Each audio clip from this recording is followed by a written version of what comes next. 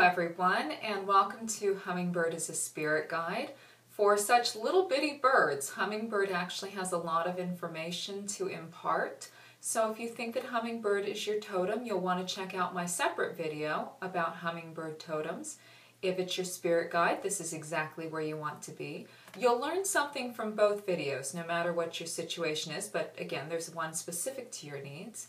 And if you aren't sure whether or not the little guy is your spirit guide or your totem, or even how to tell the difference or what the difference is, I actually have a separate video on that too, which is located on this channel and easy to access.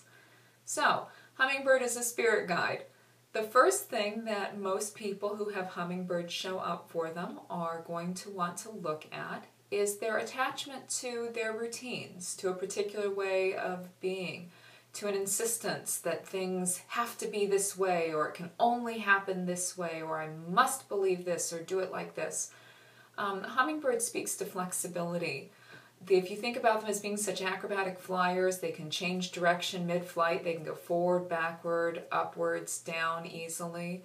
This is kind of what is being asked of you. Hummingbird is saying, hey, look, there could be some challenges and some changes coming, and the way you're going to get through them the most happily and find what you are supposed to find on the other side is by being willing to bend a little bit, by being willing to explore other opportunities and ways of being.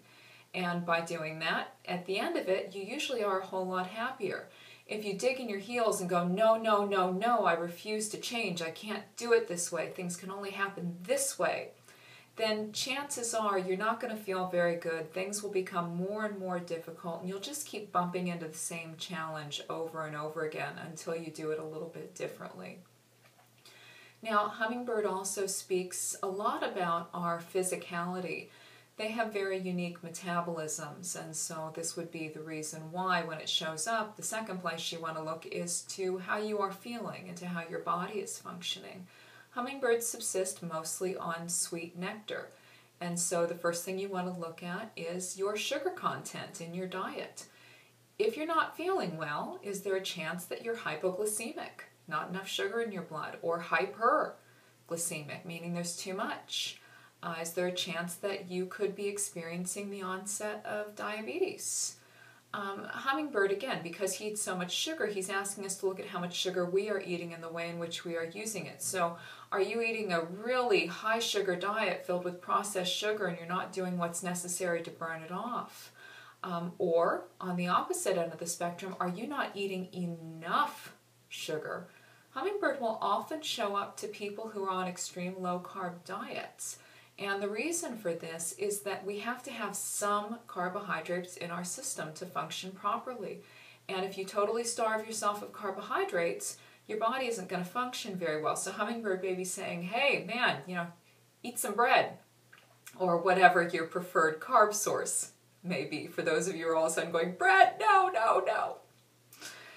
Also, because hummingbird is a bird that subsists on sugar, and metaphysically sugar relates to joy, you are being asked to, look at the level of joy in your life.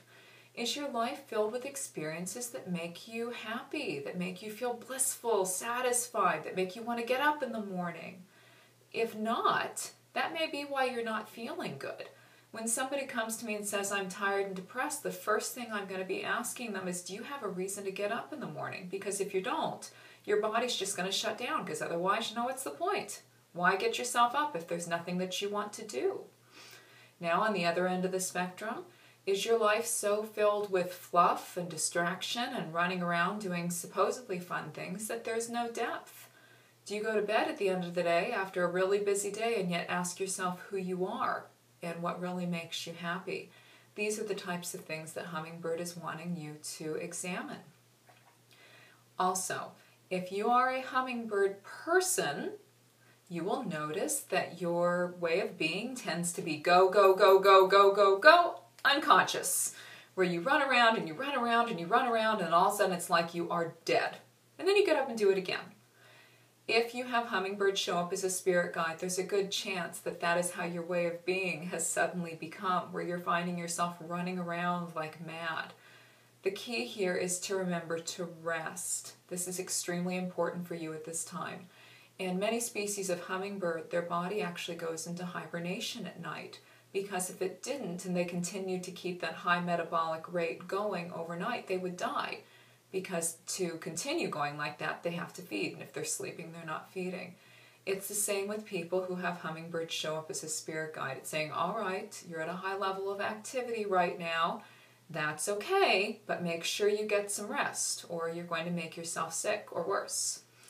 On the opposite end of the spectrum, you'll notice hummingbird is a bird of extremes. Perhaps you're not getting any exercise. Perhaps you're not moving around at all. If hummingbird shows up and you're not running around like crazy, there's a good possibility it's saying, hey you, get off the sofa, go walk the dog, go uh, run around, do something fun, dance, whatever makes your heart sing. If you get set out on a mission to do exercise and you pick something you hate, you're not going to keep doing it. So look for exercises that make you feel good, that you're excited about. Even when they're really hard and extreme, if they're fun, you'll want to keep doing them. Now, lastly, hummingbird is incredibly unique in the way it builds its nests. It's actually this brilliant little architect, which you wouldn't expect. If you're familiar with birds' nests, you'll notice that some of them just look like a tornado dropped bits and pieces there, and then there are cute little eggs and eventually baby birdies inside them. We have one like that in our garage just now. Hummingbird nests are always carefully crafted. They're unique. They're beautiful. They really are nature's little architects. And if hummingbird has shown up, there's a good chance you're starting to feel a little restless in your current living situation. Maybe you really want to move. Maybe you need a new house, a new apartment. Maybe you want a new coat of paint and totally new furnishings. If hummingbird is showing up, this isn't unreasonable because what he's saying is, okay, there's been a shift in your energy, some part of you is different, and your current circumstances, your current environment is no longer resonating with you. And so you need to make some changes to your environment so that it matches your current energy and you feel better. I knew I had accomplished something really cool when all of a sudden I looked around my office and went, wow, I need new paint, I need a new desk, I need a new sofa, everything has got to be changed. In my case, this is a really good sign. And for most of you, it is as well. So if you're noticing this crazy urge to change your decor, to move, whatever, pay attention to it. It's a good thing. I hope this has answered all of your questions about Hummingbird. If uh, the buzzy little guy has shown up for you. If not, please feel free to contact me directly for a session. You can find me at my website, which is www.ravenlightholistichealing.com. You can follow me on my blog, which you can locate on that page, or you can even check me out on Facebook at Ravenlight Holistic Healing. Have a wonderful day, dear ones.